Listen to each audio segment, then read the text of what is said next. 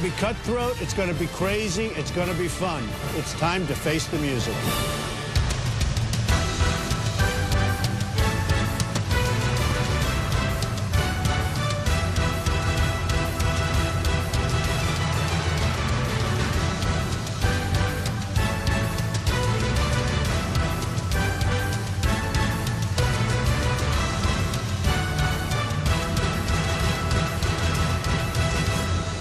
Thank you, Maestro.